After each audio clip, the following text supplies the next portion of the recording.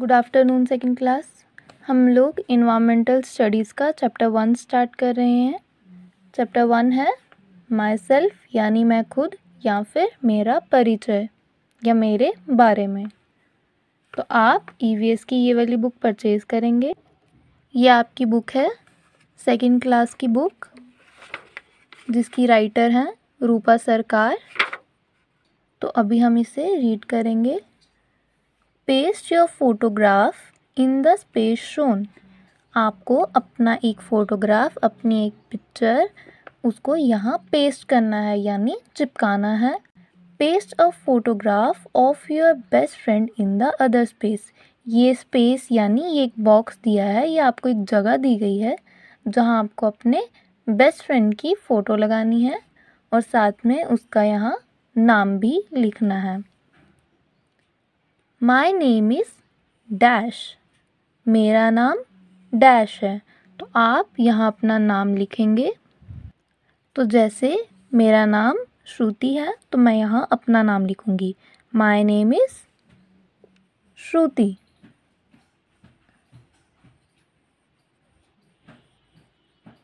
वैसे ही आप लोग अपना नाम लिखेंगे, जो भी आपका नाम है, वो आप इस डैश में फिल करेंगे। I am dash years old आप लोगों को एज काउंट करना सिखाई थी। वैसे ही आप यहाँ अपनी एज लिखेंगे। I am dash years old मैं डैश सालों की हूँ। अब इस डैश में आपकी एज आएगी। तो आप जितने भी साल के हैं, आप यहाँ वो लिखेंगे। सिक्स या फिर सेवन या कुछ बच्चे शायद एट ईयर्स के भी होंगे तो वो यहाँ लिखेंगे अपनी एज दोनों नहीं लिखने हैं। जो आपकी एज है, आप वो लिखेंगे।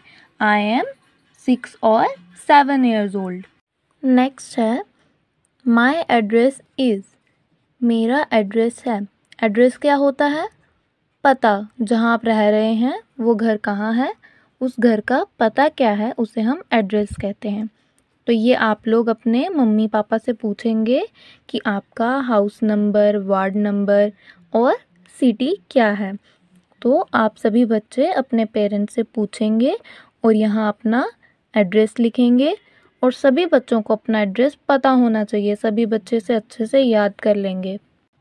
मान लो किसी का है हाउस नंबर टू तो वो लिखेंगे एच एन ओ यानी हाउस एन ओ डॉट यानी नंबर हाउस नंबर वन है या टू जिसका जो भी है वो लिखेंगे। फिर उसके बाद डब्ल्यू से होता है ward dot number, ward number, इधर भी डॉट, वार्ड नंबर जिसका जो भी है वो वो लिखेगा। और फिर सिटी का नाम, जैसे हम लोग अभी उधमपुर में हैं तो हम लिखेंगे Udhampur U D H A M P U R Udhampur. उसके बाद नेक्स्ट है माई फादर्स नेम इज़ मेरे फादर का नाम है मिस्टर जो भी आपके फादर का नाम है, आप आगे अपने फादर का नाम लिखेंगे। सेम वैसे ही माई मदर्स नेम इज़ मेरी माँ का नाम क्या है? तो क्या लिखेंगे? मदर के नाम से पहले मिसिस लगता है। ये आपको पहले भी बताया था मिस्टर एम आर डॉट इस तरीके से लिखते हैं और Mrs M R S dot इस तरीके से लिखते हैं। बच्चों, आपकी बुक में दिया गया है, the name of my father is. हमने लिखा था my father's name is. Book में है, the name of my father is. आप इस तरीके से भी लिख सकते हैं, गलत तरीका ये भी नहीं है। पर जब हम यहाँ ऑफ़ लगा रहे हैं, name of my father of तब लगाते हैं हम जब हम किसी नॉन लिविंग चीज़ की बात कर रहे हों, जो चीज़ें ज़िंदा नहीं हैं, जो सांस नहीं ले रही हैं, उन चीज़ों के लिए हम ऑफ़ लगाते हैं। फादर तो नॉन लिविंग नहीं है फादर तो लिविंग है।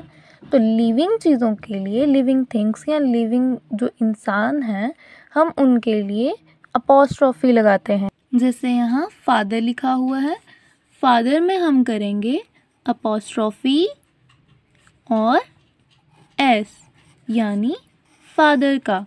तो नेम ऑफ़ माय फादर की जगह हम लिखेंगे फादर्स नेम यानी फादर का नाम। सेम वैसे ही आपकी बुक में है the name of my mother is मेरी मदर का नाम डैश है।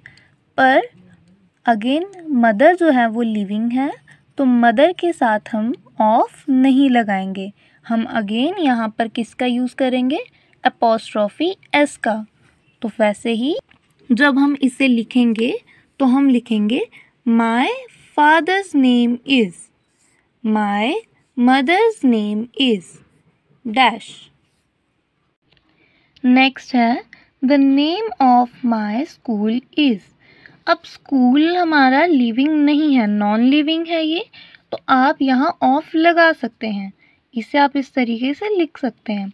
तो the name of my school is आपको यहाँ अपने स्कूल का नाम लिखना है। आपके स्कूल का नाम क्या है?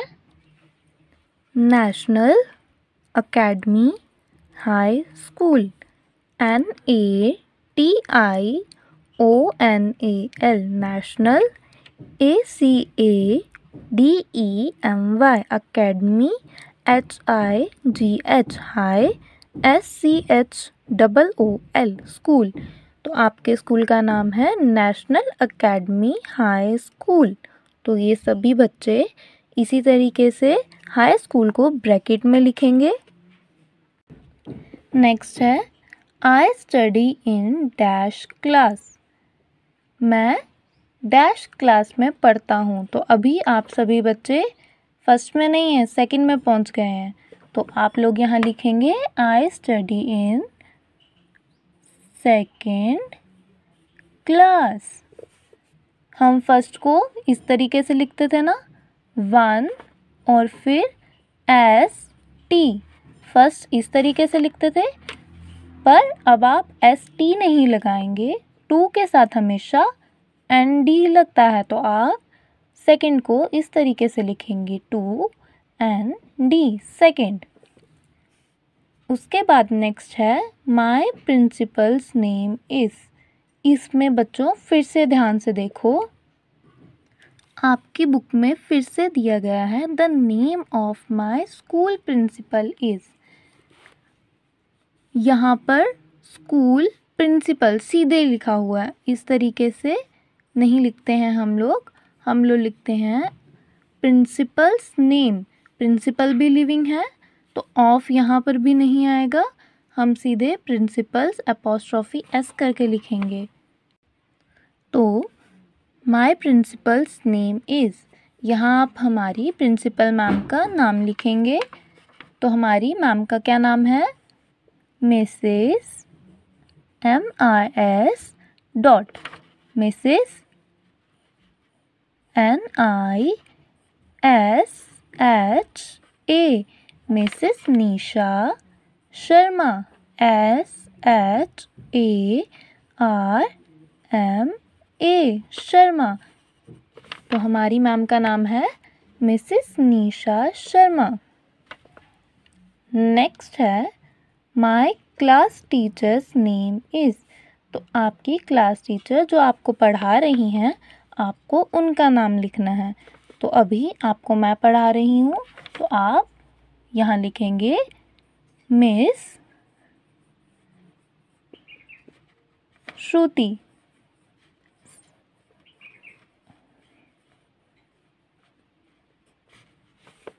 तो इस तरीके से आपको माई सेल्फ ऐसे को ठीक से लिखना है और याद से आपको यहाँ पर अपनी पिक्चर्स भी लगानी है।